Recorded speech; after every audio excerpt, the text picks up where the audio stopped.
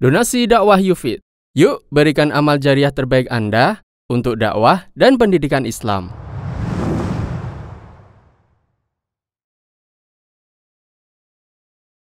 Bismillahirrahmanirrahim. Assalamualaikum warahmatullahi wabarakatuh. Innal hamdalillah wassalatu wassalamu ala Rasulillah wa ala alihi wa ashabihi wa mawala wa la haula wa la quwata illa billah amma ba'du. Para pemirsa yang rahmati Allah taala, Insyaallah kita melanjutkan pembahasan kitab Tauhid. Kita masuk pada bab yang ke-33. Bicara tentang masalah tawakal kepada Allah Ta'ala. Di antara amalan yang sangat tinggi dari ahli Tauhid adalah tawakal kepada Allah. Dan tawakal kepada Allah menunjukkan keyakinan yang sempurna tentang rububiyah Allah Subhanahu wa taala. Tawakal memiliki dua rukun yaitu tafwidul amri ilallah menyerahkan urusan hati total kepada Allah, menyandarkan urusan hati kepada Allah Ta'ala, ma'a ahdil asbab, dengan dia yang kedua, mengambil sebab. Dia melakukan sebab. Setelah itu hatinya tawakal total kepada Allah Ta'ala. Kalau dalam ayat, ada bicara tawakal dan sekaligus mengambil sebab, maka tawakal di situ lebih mengarah kepada penyerahan hati total kepada Allah Ta'ala. Tapi tawakal memiliki dua rukun ini, hatinya pasrah total kepada Allah setelah dia melakukan sebab.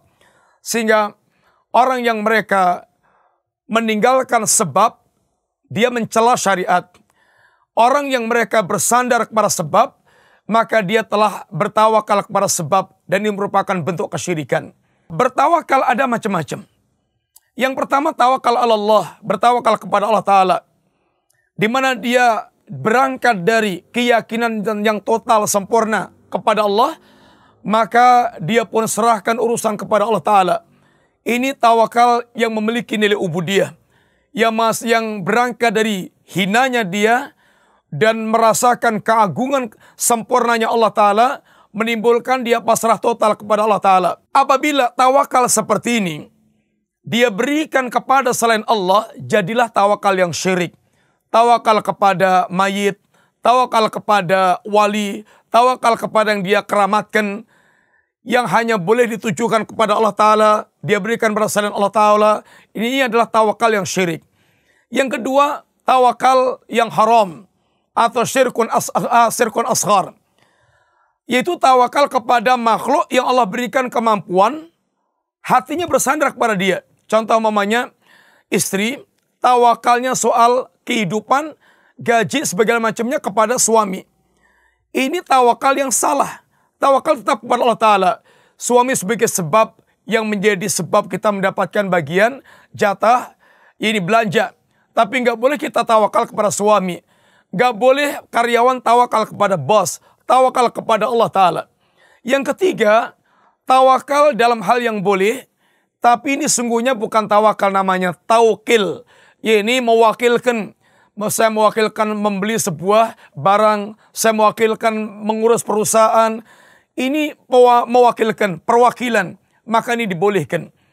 Beliau membawakan beberapa ayat tentang tawakal. Yang pertama firman Allah Ta'ala, Wa alallahi fatawakkalu in kuntum mu'minin.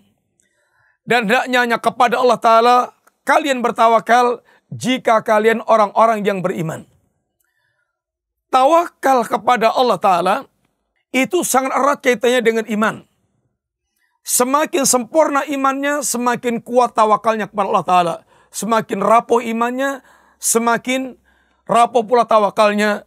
Bahkan tawakal di antara rukun keimanan itu sendiri. Kemudian yang kedua firman Allah Ta'ala, Innamal mu'minuna alladhina idha dhukirallahu wajilat kulubuhum Wa idza tuliyas alaihim ayatuhu zadatum imanan wa ala rabbim yatawakkalun. Yang namanya orang mukmin adalah orang yang mereka apabila disebutkan nama Allah sehingga dia diingatkan keagungan Allah, diingatkan segala hal yang berkaitan Allah, hatinya ada rasa getar. Dia ada rasa ya ini takut kepada Allah taala. Ada rasa gemetar, ada hubungan. Apabila dibacakan ayat-ayat Allah ada pertambahan iman wa alallahi wa ala rabbim yatawakkalun dan hanya kepada Rabbnya mereka bertawakal. wa ala rabbihim yatawakalun didalukan jar majrur dibandingkan fiilnya menunjukkan bahwa tawakal itu hendaknya dikhususkan hanya kepada Allah Ta'ala. Ayat yang ketiga yang berbawakan adalah firman Allah Ta'ala, Ya ayuhan nabiyyu hasbukallah wa man ittaba'aka minal mu'minin. Ya ayuhan nabiyyu, wahai nabi, hasbukallah, cukuplah bagimu Allah, wa man ittaba'aka minal mu'minin dan cukuplah Allah bagi kaum mukminin.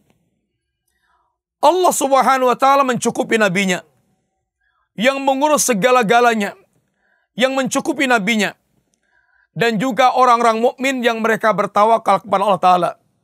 Barang siapa menjadi mukmin yang mengikuti nabi, Allah akan cukupi. Cukupi perkara dunia dan akhiratnya.